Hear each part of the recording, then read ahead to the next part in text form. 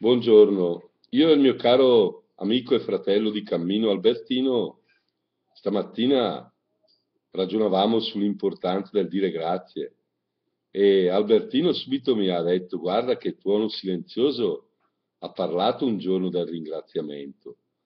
Vai, c'è un video che dice il pensiero di tuono silenzioso ris rispetto al fatto di ringraziare. Sono andato e come sempre con grande soddisfazione ho trovato questo bellissimo video e questo testo stupendo.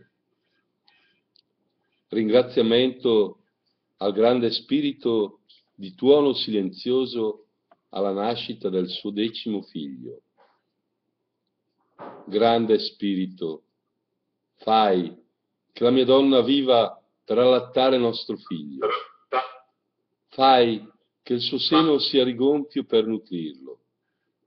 Fai che viva per crescerlo come ha cresciuto gli altri. Fai che viva per non lasciare i suoi figli orfani e non lasciare me nello sconforto per la sua perdita.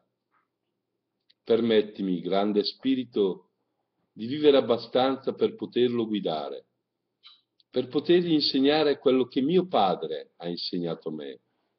Dagli un corpo sano, perché non si vergogni di suo padre e di sua madre.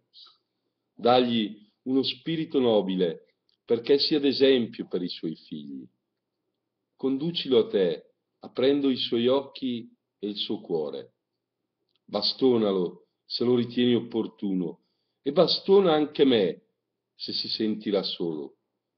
Egli è l'ultimo dei miei figli e come le dita delle mie mani sarà ugualmente importante per me. Lo lascerò crescere come tu hai deciso e quando si troverà nell'incertezza, gli mostrerò le strade che mio padre ha indicato a me. E così come io ho potuto scegliere liberamente il mio sentiero, anche lui non troverà ostacoli da parte mia. Concedi, mio grande spirito, di vederlo cavalcare nel mio fianco, al mio fianco nella caccia, e di danzare con me per ringraziarti dei tuoi doni. Concedigli di raggiungere le tappe che faranno di lui un uomo e poter da vecchio sedere con gli anziani. Dagli la saggezza che io non ho avuto, affinché la tribù gli renda onore. Veglierò su di lui fino a quando me lo concederai, per lasciarlo, quando lo desideri, nelle tue mani, grande spirito. Stupendo. Grazie Albertino, grazie tuono silenzioso e grazie al grande spirito naturalmente.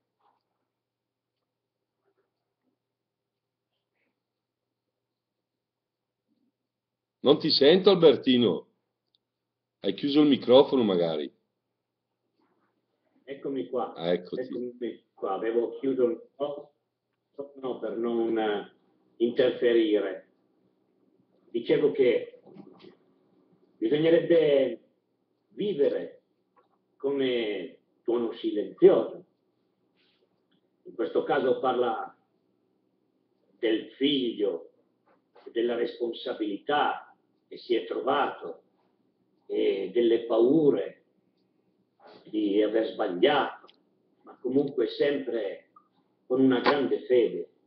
E questa è la molla, credo, che spinge l'essere umano ad avvicinarsi a Dio, a sentire e a sapere anche come muoversi nella vita nei confronti della realtà, non solo con i figli, ma con tutti, con tutto, alla fine con tutto, in armonia con il tutto. Qua bisogna dire di nuovo grazie. A proposito di ringraziamenti, mi viene in mente io voglio solo aggiungere questo episodio, questo sogno che ho fatto, prima ancora che mia madre morisse, come fosse un monito, come fosse un insegnamento che io dovessi incidere nel mio cuore, nella mia mente, che non dovessi dimenticare. È apparsa in sogno a me e mi ha detto, Riccardo, Ricordati bene che si tende a dimenticare chi ci vuole, chi ci ha fatto del bene. Come dire, tu non dimenticarti, tu continua a dire grazie e ricordati chi fa del bene per te. Bellissimo, sei stato fortunato, un ottimo contatto. Benissimo così. Ringraziamo e alla prossima, al prossimo incontro tra queste due anime e grazie a voi che continuate a seguire i nostri incontri. Al pross alla prossima volta. Salve a tutti. Arrivederci.